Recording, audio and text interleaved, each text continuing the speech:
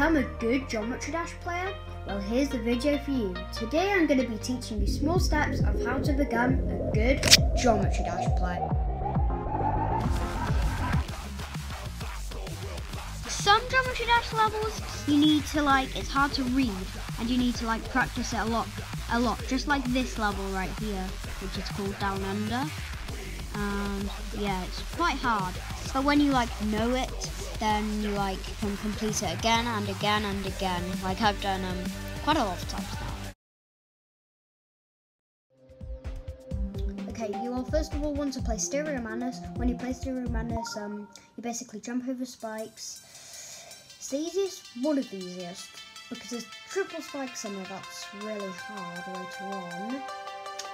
But I'm kind of used to it, and yeah basically first and you jump over spikes.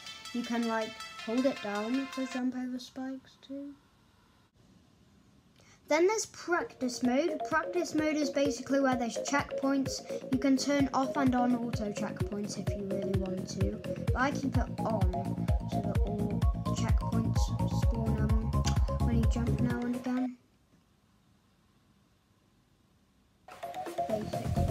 And then you can turn on the um, the bar, the progress bar and the, um, and the progress so that you know how far in the level you are.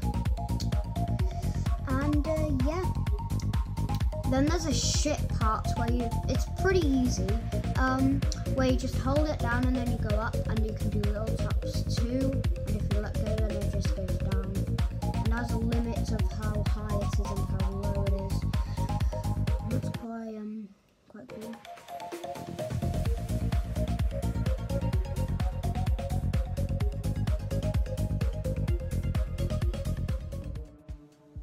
And then there's skins where you can like pick your own skin.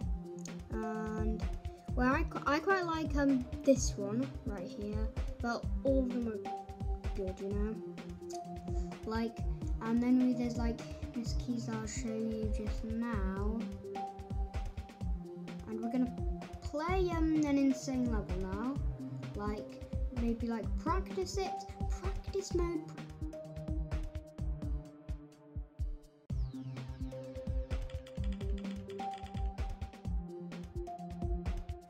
This is the key room where you can like unlock chests by getting keys, and then there's like the five times keys where you need five keys, and then there's some more chests and some shops where you can um buy stuff with them.